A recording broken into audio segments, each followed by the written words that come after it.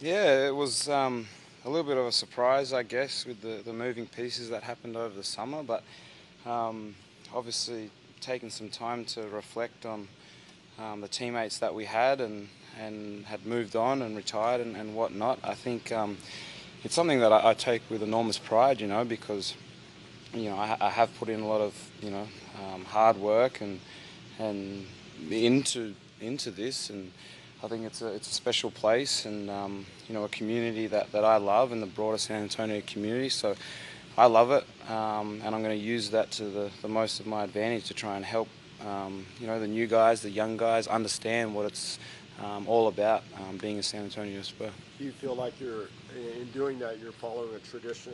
You know, For sure. began with David and then Tim and then Manu. And, Definitely. You know. Um, I've always felt like I was the bridge between the next um, change of tides, and I guess that that has come. So to be able to um, pass that on, I guess everything that I've learned from on the court, obviously, uh, in the locker room and, and, and off the court, uh, away from the floor, I think. And we've got a group this year that um, already seems like it's, it's, a, it's a team that can bond well chemistry-wise. Um, obviously, it's, it's early days, but um, that's the op opportunity that, that lies ahead for us. So I'm excited about it. I know other, guy, other guys are excited about it, but it's something that, um, you know, obviously the, the whole city of San Antonio can be pumped and, and, and, and excited about what's, what's new to come, yeah. I know you're going to miss Manu, but especially on the road, right?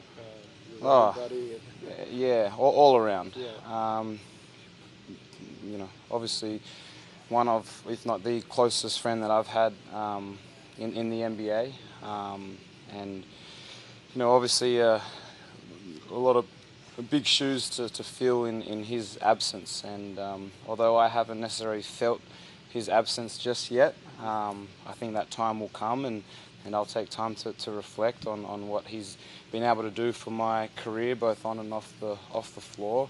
Um, and, and, as I said, take that all those learning lessons that I have had from him and, and pass it on to the to the young and, and new guys. But he's been an absolute um, perfect role model for me, and I wish that every young kid in, in, in all of sports, um, you know, had a role model as close as, as Manu's been for me. So really um, grateful and, and, lucky that I've had the opportunity to, to be his teammate. And I think the, the best thing that I've, you know, I'm, I'm grateful for and blessed for is that, you know, I'm able to call him a friend for life. And I think that's the most important thing we can take about playing this sport. Did you cry?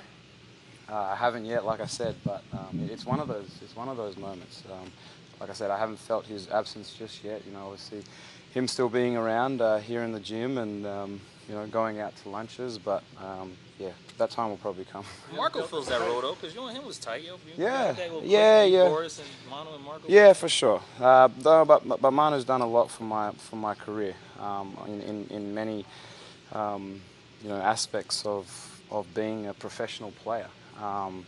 And it's something that you'd never think that you'd learn being in this environment. But um, you know, he, he, he's definitely been close, and the reason why you know, whatever player and person I am, he, has been a big part of it for the last seven seasons. So um, got a lot to owe him. And Patty, what, what is it besides the playing, obviously the technical side of the game? What are the qualities that Manu has that, that, that drew you to him, that, that, that, he became such a good friend? What, what, what was it?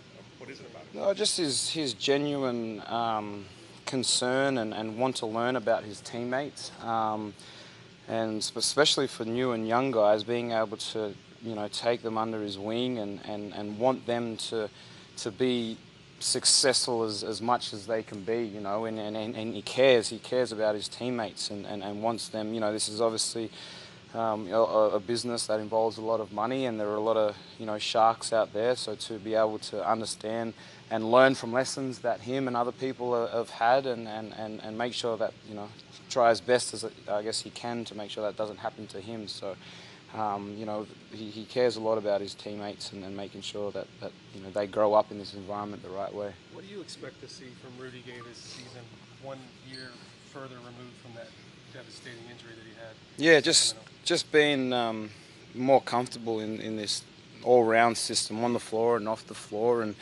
and knowing what everyone expects from him. Um, he's still obviously a, a, hell of a player, that goes without saying, and, and athletic. Um, I, I think he's going to be huge for us. But I think having a year under under his belt in this in this system, and obviously we've got some um, changes to, to make, and we'll see how, how, how that all unfolds. But I think, regardless of any change, you know, I think he's going to be able to be um, just a bit more comfortable in his own shoes and, and be able to play his own game, which um, obviously he loves. You were a guy that's gone into a season before having had surgery and not being fully ready to go. Like he, it was a different surgery, but like, yeah. like he was. When you had that with the shoulder, did it take you a while to trust everything again and to kind of get your group back? Or? Um, I, I, got a vivid memory of my first game back just before Christmas. I think diving on the floor and getting yelled at by by Pop. You know, not allowed to do that ever again. But um, I, I, didn't have any trust issues. I mean, I went through my rehab program. Uh, very carefully, and um, you know, being out on the floor, I was ready to go. But I, I can understand how you can be cautious for sure, and, and making sure you don't want to re-injure something. You know, we've heard devastating stories of that throughout the throughout the NBA. So, like I said, he he's uh, had a great summer by the sounds of things. I caught up with him a little bit throughout the summer, and um, um, and, and obviously now, so so a year under his belt, um, just defining his his role once we get to our first game, and uh, I really think he's going to be great for us. Pat, Patty, how different is it? Uh, we talked to Rudy about that yesterday about how different it is to come out here, not have to worry about a player that's not here. Is he going to play? And, and how See, I don't.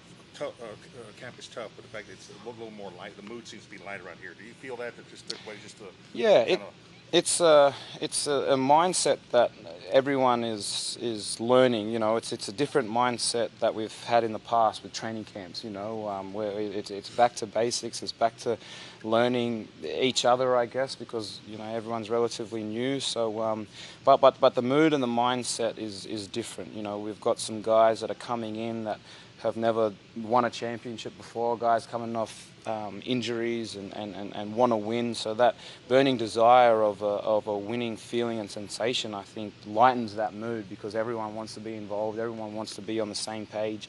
And, and, and learn from obviously everyone that, that's been here and the coaching staff. So that's exciting when, when you know obviously seeing a few training camps now and you see guys come in, come in with that mentality, um, it, it's, it's, exciting as a, as a teammate for sure. Do you think your role will be more defined or will it still be kind of a jack of all trades where you can you know, play backup point or, or you know, start at point yeah. needed? We'll, we'll see. Yeah. I, I, think at the moment you just try to um, roll the ball out and, and see what works, but to be open to I guess being a, a jack of all trades um, or, or, being flexible in, in that sense, I think is is the most important thing. Um, nothing's really defined as yet. This is day two, but as we you know go down the road, we'll define them a bit more. But um, you know that's that's more than happy for me to, to be flexible and then understand how I can impact the team while um, or the game while you know, making sure everyone else is okay as well. But you get back to your normal role though, right? Is it some comfort there too? What's that? Which role? Your role coming off the bench and being that spark. Yeah. Last year you were in and out of lineup. yeah. Now uh, you know what your you get back to your uh, normal spot. I, I think it's I think it's all relatively different because of who's coming and who we don't have anymore for certain certain things. You know, just being on the floor, whether it's being a,